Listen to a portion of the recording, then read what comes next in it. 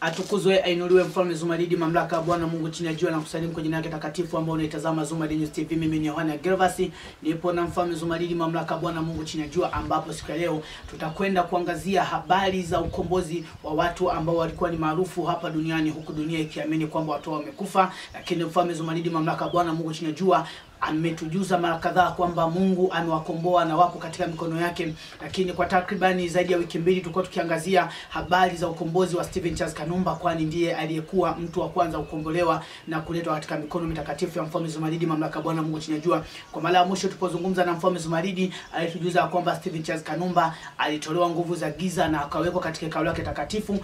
Baada ya kutujuza kwamba Stephen Charles Kanumba alifikishiwa kanisani akawa anaishi nyuma ya kanisa kwenye mgomba, siku leo tunatamani tujue ya kwamba hawa wengine Michael Jackson, Robert Nesta Marley, Luck Dube, Peter Toshi na wengineo walifikaje fikaje katika mikono yake mtakatifu? Na je, ni watu tu ambao ni maarufu ndio wapo katika mikono yake au kuna wengine? Hayo yote tutapata kuyajua siku ya leo. Tukuzwe mfalme Zumaridi.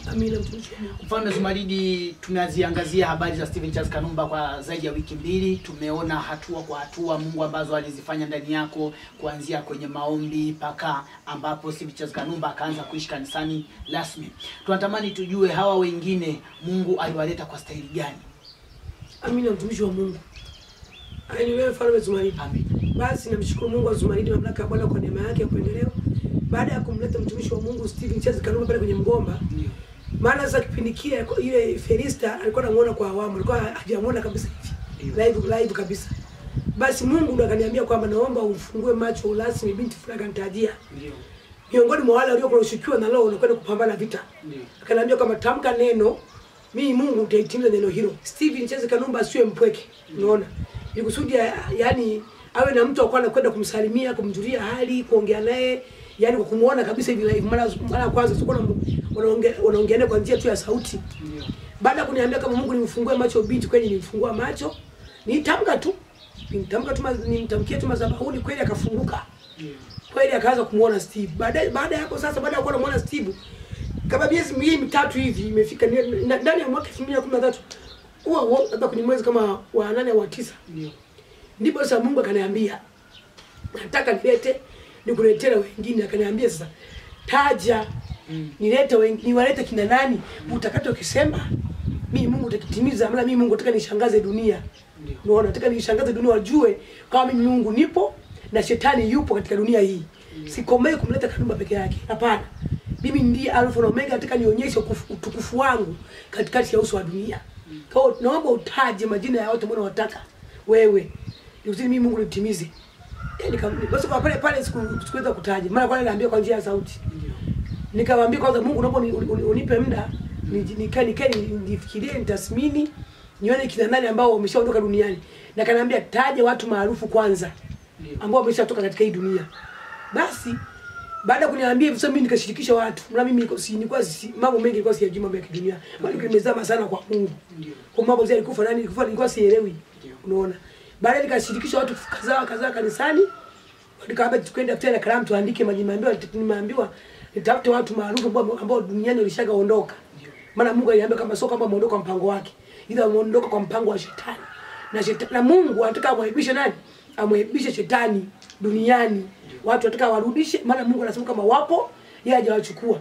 Ila wapo katika himaya ya nani? Ya shetani. Basi sasa tukaanza kuchangia hoja, mwingine akasema Umare, mwingine akasema Lucky Dube, mwingine wak- yaani wakataja taja pale tunaandika. Ndio. Tukawa tunaandika baadaye tukafikisha watu kama kumi na kitu. Ndio. Baada ya kuandika yale majina, baadaye sasa mimi katika usi, katika maombi. Nikawa namsisa Mungu, nikamwambia Mungu, nikaweka daftari hapa, nikamsi Mungu. Mungu sasa ulivyoniambia uli- uli- ulivyoniambia majina ya hapa nimesha nimesha nani nimeshachambua nimeandika ya watu ambao unatakiwa sasa kuwaleta kama jinsi ulivyoniambia kweli Mungu akaniambia hao wote ulioandika hapa ni Mungu tu amewaongoza. Maana hao wote hawapo katika ufalme wangu mimi Mungu. Hao wote wako chini. Unaona? Wapo lakini wapo chini wanaishi. Shetani anawanyanyasa na watesa, wanaishi kama misukule. Maana yeye ndiye aliwachukua katika imani yake. Kwa mimi Mungu utawaleta. Kesho nawaleta hao watu. Sasa kwa karibu naambia kesho nawaleta sikujua anaweza kwa staili gani. Sababu ma- maana mimi nilijua kwamba anaweza kutuambia baba tuingie kwenye maombi kama kipindi cha Steve. Okay. Hata kipindi cha Steve alituambia ingie kwenye maombi. Kwa hivyo naambia kesho nawaleta, sikuelewa sasa kesho nawaleta. Mm.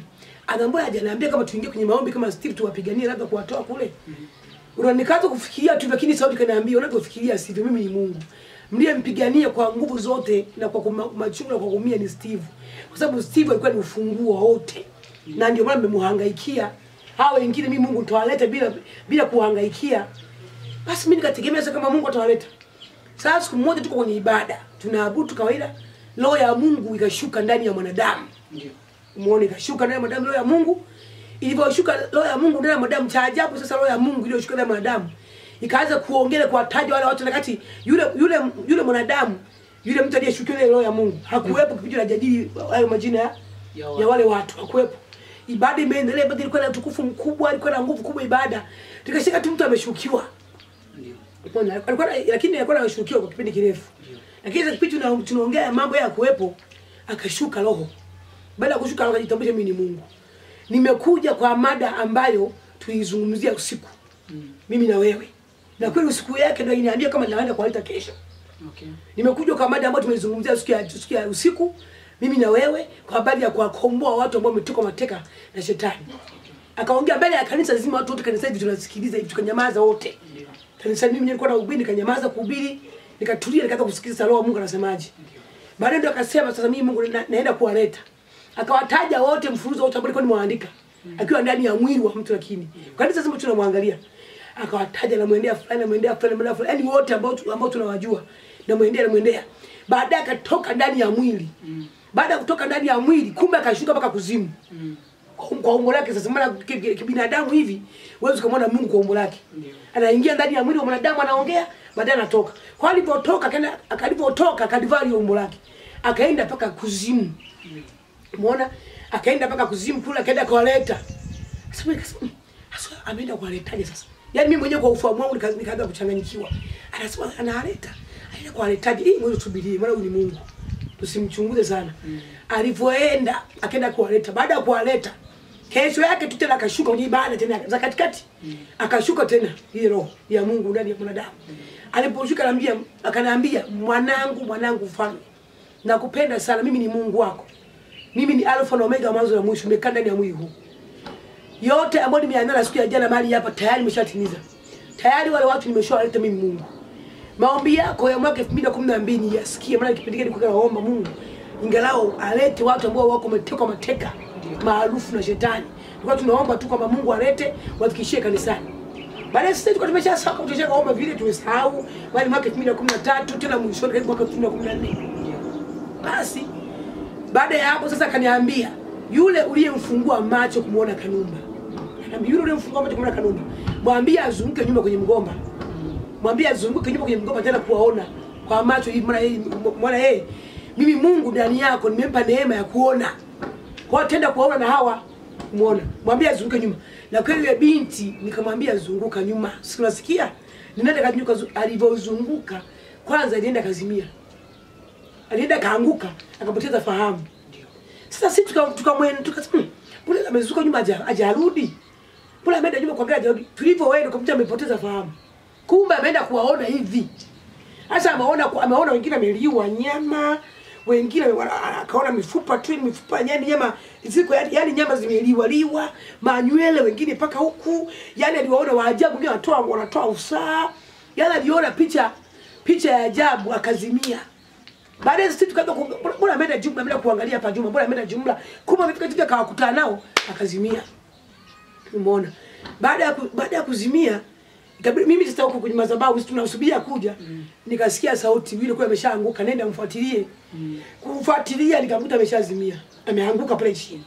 Baadaye nikaambiwa mtamkie neno ameona mambo ambayo hajawahi kuyaona katika macho yake.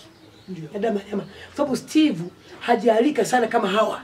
Hawa aliowaona hawa wameenda kuzimu miaka mingi. Steve amekaa amekaa kuzimu ndani ya miezi kadhaa tu mimi Mungu nikamtoa. Sasa hawa wamelika mpaka meno haya akaona yako nje tu yani yani ya- yani huku kumelika kote akiangalia kuna mifupa yani hii kwa kweli. Bado nikaambiwa nikaambiwa mtamkie neno kusudi ufahamu wake urudi. Nikamtamkia kwenye neno ufahamu urudi. Ufahamu ulivyorudi alikimbia kwa nalia yani alikimbia vibaya kwa analia anakimbia ah! yani huko analia nakimbia analia. Baadaye nikaambiwa mtamkie neno mi mungu nifanye kitu ndani yake ili kusudi azoe hiyo hali asiwakimbie. Eh? Hasa kwa wakati huo sasa wale hawajitambui chochote. Yale wajitambui hata ufahamu wakiwa wako duniani hawana wanaoletwa pale. Yale hawajitambui kabisa kama wako duniani hawajitambui na mezubatu yani yani hawajitambui jinsi walivyo yani misukule kama jinsi wanavyojua hapo kwa ni misukule ambao wameshaliwa sana yani nyama yani wameliwaliwa tu nyama wameliwaliwa yani mifupa mifupa tu ndio inaonekana kwa hiyo wamewekwa tu pale. Mbona hebu samani kidogo kabla hujaendelea. ina maana mtu anapokuwa kuzimu hata kama ameliwa nyama hafi hawezi kufa sababu roho mpaka Mungu aichukue. Shetani yeye hawezi kugusa roho. Shetani anagusa mwili huu. Huu. Mwili hawezi kugusa. Kwa hiyo roho mpaka Mungu aje aichukue. Aipeke katika ufalme. Kwa anaweza kalika akashinda bila kula lakini roho haitoki ndani yani hawezi hawezi akafa. Akiwa kule kuzimu. Umeona? Kwa hiyo sasa yani walivyokuwa Amerika wanatoa usaa mwili wote yani wana, wani, kwa kweli jiza hivi kutusimia sehemu mwenyewe sema jamani Mungu naomba nitie nguvu kwanza wananuka. Samani kwanza wananuka. Yani wananuka kwa kiasi cha ajabu. Hata steve alikuwa anuki hivi. Kwa sababu kama steve ananuka steve alikuwa anuki steve kumbe harufu yake ya kawaida. Ndipo ilikuwa ile tushangaza kwa wakati wake. Kwa wakati wake kwa kutule steve anakombosa kwa anuka. Amina. eh. Baadaye sasa baada ya kuna kuambiwa kama mtamkie neno mimi Mungu nimpe ujasiri nimpe kifua kipana awazoee hao watu. Aone wa kawaida na kweli. Nikamtamkia tu neno mm, nikashaka mbona ameona wa kawaida? Akawa anaenda anawachungulia na waangalia anakuja kuniambia. Umeona anaenda nawachungulia na unawaangalia hawawezi kuongea. Hawaelewi chochote kile. Hawajitambua kwa duniani. Umeona? Kwa kifika cha nawaangalia anarudi. Nafika nawaangalia, wala anarudi anakuja kuniambia wapo. Umeona? Mpaka imefikia hatua za Mungu kuja kuwa- kuwatengeneza. Amina. Wewe ambao unaitazama Zuma News TV, mfalme Zuma Zumaridi mamlaka Bwana Mungu chinajua ametuyakinishia kinagaubaga kabisa namna ambavyo Robert Nesta Male, Michael Jackson, Brenda fasi Amina Chifupa na wengineo walivyoletwa na Mungu kwa mkupuo, ikiwa ni miezi michache baada ya Steven Charles Kanumba kutolewa nguvu za giza na kunyang'anywa remote ambayo ilikuwa ikimhamisha kutoka eneo moja kwenda eneo jingine. Lakini pia Steven Charles Kanumba alikuwa amekwisha kufikishwa kanisani, kwa hiyo alikuwa ameshaanza kuhudhuria ibada, ndipo Mungu akawaongeza hao wengine. Mfalme Zumaridi, je, katika orodha hii ya watu ambao wamekombolewa na Mungu hakuna watu ambao sio maarufu? Ambao sio maarufu wapo. Watu ambao sio maarufu wapo na ndugu zao pia wapo pale kanisani. Ndio. Umeona baada ya kusikia kama Zumaridi kapewa neema na Mungu ya kuwa, ya, ya, ku, ya kuwa wanarudi waliochukuliwa katika mikono ya shetani Ndio. wakaja Okay. baada ya kuna mama mmoja yuko Butimba pale alikuwa na alikuwa na kijana wake ambaye huyo kijana alikuwa ni mwalimu Ndio. alikuwa ni mwalimu sio sekondari kama kama sio sekondari shule ya msingi Okay. but huyo huyo kijana alienda Mei Mosi. Baada ya kwenda alienda na mama yake siku ya Mei Mosi. Ameenda na mama yake siku ya Mei Mosi amerudi. amerudi nyumbani akamwambia mama nipikie chakula na um, nipikie chakula. Nile najisikia kama vibaya vibaya nasikia njaa. Wewe nikajipumzishe baadaye utakuja kuniletea chakula chumbani. Mama yake anamwambia. Ndio. Baadaye kile mama yake akawasha jiko akapika. Baada ya kupika sasa akapakua chakula anampelekea mtoto wake akanguta amekufa. Umeona? Anafungua tu mlango mtoto ameshatoa mapovu, ameshakufa, yaani yaani hayupo kabisa. Basi mama yake sasa kuna wifi yake ambaye anaabudu pale kanisani. Akamwambia, mtumishi wa Mungu, kuna mnapoabudu mimi kanisani, mfalme Zumaridi anaweza kurudisha huyu ajafa. Ameugua nini? Mmetoka naye mmetoka naye kule. Mmetoka naye kule Mei Mosi. Amekuja mkwambia tu kwamba mama, nipikie najipumzisha. Baadaye uje unihamishe unipe chakula nyinyi nasikia njaa, najisikia vibaya nasikia njaa sana tetemeka utumbo kwa sababu ya njaa. Baada ya jana sikula, mara kijana alikuwa mlevi sana wa pombe. Okay. Kwa hiyo usiku yake alikuwa kunywa pombe nyingi. Kesho yake sasa akawa nasikia njaa, maana alilala bila kula. Baadaye sio mama ba- ba- baada ya kuambiwa na wifi yake, kesho yake sasa wameshazika. Kesho yake ndio akapo wakabidi waje. Kama vile walizika walikaa kama vile wiki. Okay. Bila kusubiri ndugu na jamaa. okay. Kwa hiyo ile siku ya saba wakaja kwangu sasa. Ndio. Walipokuja kwangu ile siku ya saba, nilifika kani akanisimulia. Baadaye nikamwambia una imani? Akaniambia mimi na imani na ndio maana nimeletwa hapa. Maana maana mimi mimi Mungu wa uzima ile amenipa neema mbili. Kuna neema ya kumchukua mtu kumpeleka katika ufalme, kumtoa katika mateso na kuna neema ya kumpumzisha, ya kumleta kabisa kumrudisha. Baadaye lakini kwa wakati huo huwezi kumuona mpaka atakapofanyiwa marekebisho makubwa na Mungu. Mbona maana Mungu ataki kutoa mamisukule yale ambayo ajabu ajabu hataki. Okay. Baada ya hapo mama akasema mimi na imani. una imani kabisa yeye na imani? Sasa kama una imani leta picha yake mtoto wako. Umeona? Aketa picha. Nikamuuliza unataka aende mbinguni au unataka arudi duniani? Lakini lakini kurudi duniani hauwezi kumwona moja kwa moja hivi. Kwa sababu atakuwa ameshakuwa msukule ameshaharibiwa. Unaona kwa hiyo huwezi kumwona la hivi lazima kwanza afanye marekebisho na mipango ya Mungu mpaka itimie ndio tutamuona. basi akisema mimi nakubali. Nakubali kabisa mimi nataka mwanangu ni mu, arudi. Hata kama nisipomwona sasa hivi arudi tu duniani asiende mbinguni. Basi hiyo kazi kafanyika mitume kama kawaida nikawatuma nikawatuma roho zikashuka za mbinguni zikaenda kupigana zote zikaenda kumkomboa. Zikawa zimemleta. Umeona? Jina yake anaitwa Boni anaitwa Boniface basi baada ya kuletwa akaungana na wale wengine sasa kwa hiyo mama yake aliamwambia kwamba utaamini kama mwanao yupo, kwa sababu kwa sababu huwezi ukamwona auja kwa moja, Ndio. umeona, mpaka kwanza afanyiwe marekebisho na Mungu, neema ya Mungu na, na Mungu pia wakati wake ufika kumuonyesha, ndipo utakapomuona. Sasa mimi nitaamini tu hivyo hivyo. Basi nikamwambia kutoka wako ameshaletwa jana usiku. Kwa hiyo sasa kinachofuatia labda Mungu sasa marekebisho ki, baada ya marekebisho kisha pata ufahamu wake na kile kitu akarudishiwa na kile akarudishiwa, utaongea naye. Lakini utaongea naye kupitia binti anayemuona. Unaona, utaongea naye kupitia binti ambaye amepewa neema ya ku, ya kuwaona, umeona.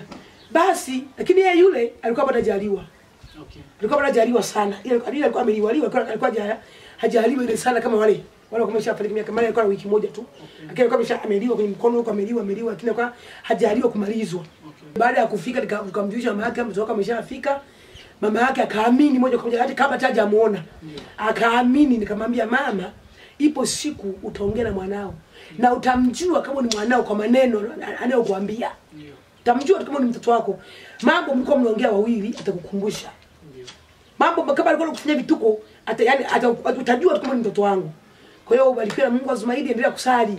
Maana yeye mama alikuwa ni Muislamu. Okay. Kambia endelea kusali umshawishi Mungu kusudi Mungu amtenge Mungu amrekebishe mwanao kusudi upate fursa ya kuongea naye.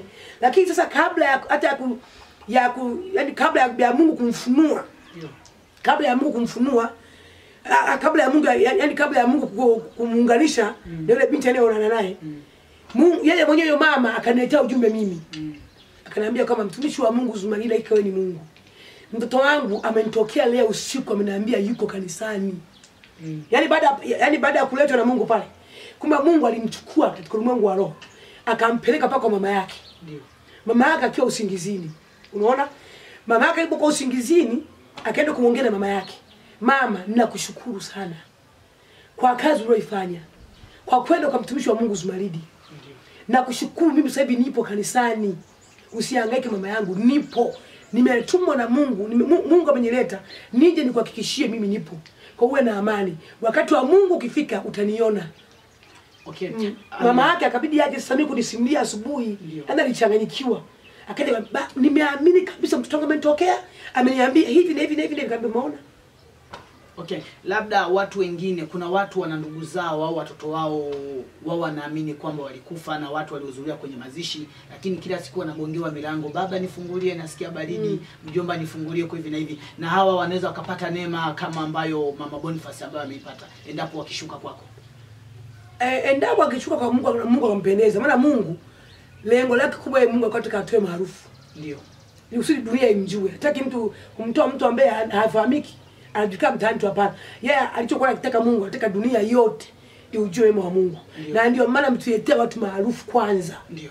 Umeona? Kwa hiyo hii ya ya ya ya, ya, ya kuja mama Bonde wale wengine wapo kama wanne hivi ambao sio maarufu, Ndio. walikuja wanalia mbele za Mungu Ndio. na Mungu akaona machozi yao. Ndio. Alivyoona Mungu machozi yao, ndipo Mungu akawapa kama yani kama ofa.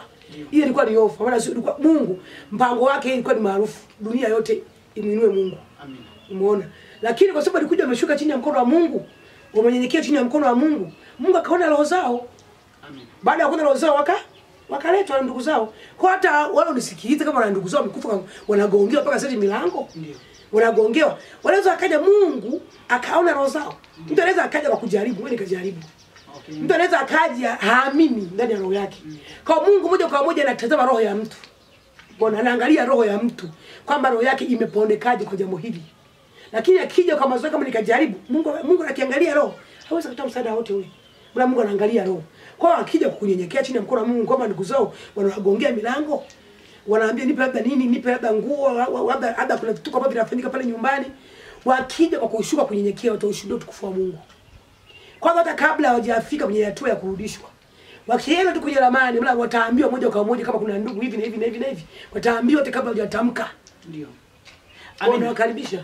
Wewe ambao unaitazama Zumari News TV, pengine mjomba wako au wewe mwenyewe unagongewa mlango na mtu ambaye unaamini alikufa, lakini anakujuza kwamba mimi ni fulani, naomba nguo, au nasikia baridi, au nyakati zingine pengine huwa unamshuhudia kwa macho yako wewe mwenyewe, lakini unakosa cha kufanya. Unapojaribu kumshika, unashangaa umeshika hewa.